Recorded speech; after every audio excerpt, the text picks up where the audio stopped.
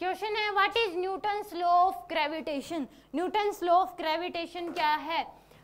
every two bodies in the universe attract each other with a force which is directly proportional to the product of their masses and inversely proportional to the square of distance between them mathematically F equal to G M one M two by में R square जितनी भी universe में दो body हैं, मान लो universe में जितनी भी बॉडी हैं, वो आपस में क्या लगाती है? एक अट्रैक्टिव फोर्स लगाती हैं।